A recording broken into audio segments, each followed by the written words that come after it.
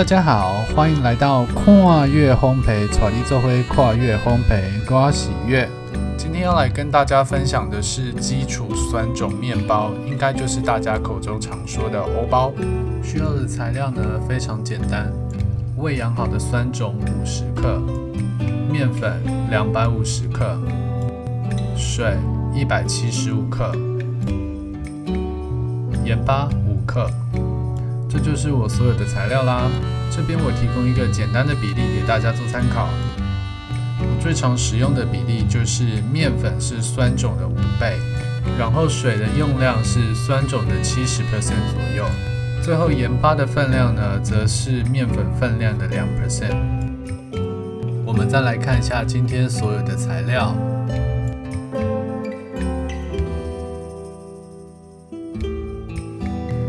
前所有的影片一样，第一个步骤呢，就是先喂养酸种。先把平常保养的酸种倒出，剩下一点点在瓶中，加入二十五克的水与面粉，比例呢就是一比一。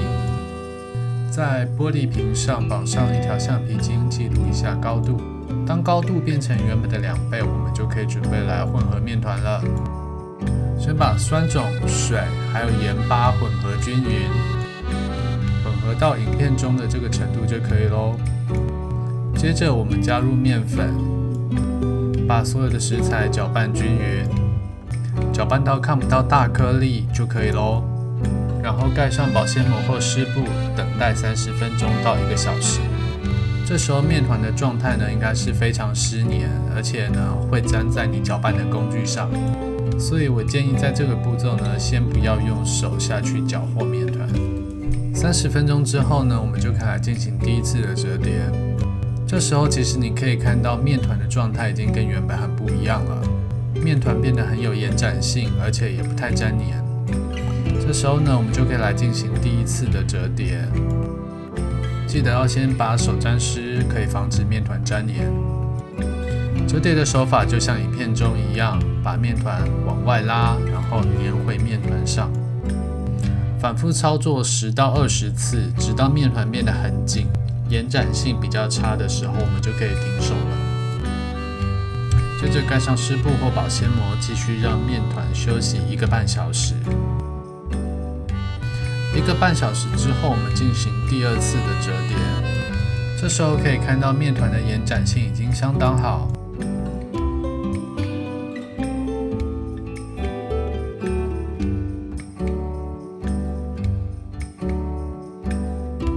而且也几乎不沾手了。再过一个半小时，我们就可以来进行第三次的折叠。第三次折叠的时候呢，应该会看到一些大气孔。在进行折叠的时候呢，也可以明显感觉到面团里面有气孔的存在。第三次折叠之后呢，再让面团休息一个小时，我们就可以来进行预整形喽。首先，先在面团上撒上一些干面粉，接着在你的工作台上也撒上一些干面粉，将面团倒出到工作台上。预整形的方式呢，跟之前的折叠基本上是一模一样的。把面团折叠到很紧，没有办法再继续拉伸，就可以停止了。刚预整形之后的面团呢，应该会像影片中一样很有弹性，然后蓬蓬的，像一颗枕头一样。然后用玻璃盆把面团罩住，让它继续再发酵三十分钟，我们就可以来进行最后的整形。最后整形前呢，记得先准备一个模具。我这边准备的是一个长方形的模具，准备一条毛巾放到模具里面，然后在毛巾上撒上干面粉，防止面团粘黏。掀开玻璃盖，把面团翻过来。然后按照影片中的手法，把面团慢慢慢慢整成长条状。我这边把影片稍微放慢速度。基本上我的整形手法呢，就是一左一右，然后往下一卷。等到面团变成一个长条形之后呢，旋转九十度，从这个方向再把面团卷起，整成长条形。然后将面团翻过来，进行第一次的收口。这边呢我就用原本的速度播放让大家可以看清楚怎么收口的。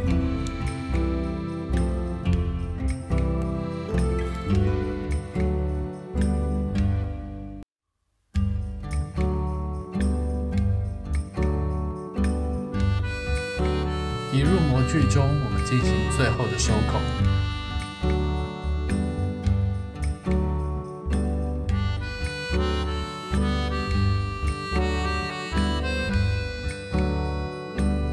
记得收口要收得很好，这样子才不会让面团在烘烤的时候从下面爆开。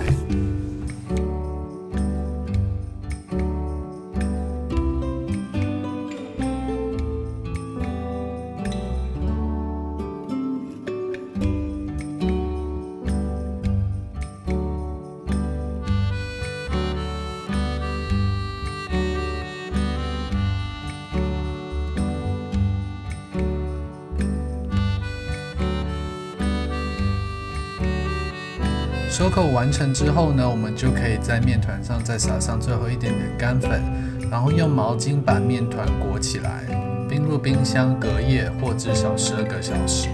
给灯缸，隔天先将烤箱以两百二十度左右预热三十分钟。如果你的烤箱没有办法到两百二十度的话，就用最高的温度预热。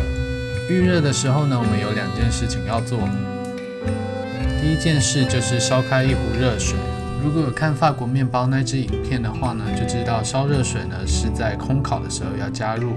同时也别忘记预热的时候，烤箱中要同时有两个烤盘，一个放面包，一个等等会加热水。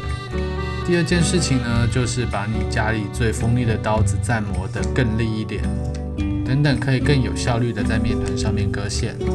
当烤箱预热好之后呢，把放面包的烤盘拿出来。这时候从冰箱取出面团，面团的状态呢，应该会像影片中一样，轻压呢会回弹。接着把面团倒出，以接近水平的方向呢，在面团上割出一条线，然后你可以试着用刀割出你想要的花纹。我在说明栏有附上一些蛮有趣而且专业的割线教学。有兴趣的话，可以去看看哦。线割好之后呢，就可以在面团上喷上大量的水。喷好之后呢，就可以把面团送入烤箱。记得要在另外一个烤盘上加入热水，以两百二十度呢，先烘烤十分钟。我这边给大家看一下烘烤五分钟跟烘烤十分钟之后的高度变化。